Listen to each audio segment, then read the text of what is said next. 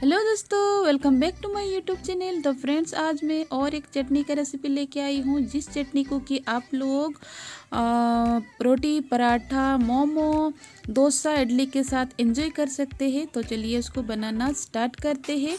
और ये एक ही चटनी आप पकौड़ा के साथ भी, बड़ा के साथ भी एंजॉय कर सकते हैं। तो चलिए बनाते हैं।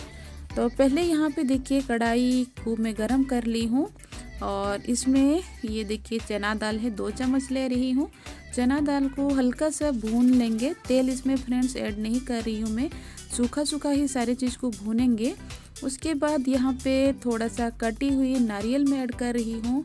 दो हरी मिर्च और लहसुन की कुछ कलियों, चार से पाँच कलियों यहाँ पे देख सकते हैं। इसको हल्का मीडियम आँच में इसको थोड़ा सा भून लेते हैं। उसके बाद यहाँ पे मैं ले रही हूँ एक मीडियम साइज़ का टमाटर। उसको भी साथ में भून लेते हैं इस तरह से सूखा सूखा ही। और ये चटनी फ्रेंड्स आप लोग आ, हर चीज़ के साथ एंजॉय कर सकते हैं बहुत ही टेस्टी है। आपको अलग से कोई चटनी बनाने का ज़रूरत नहीं पड़ेगा।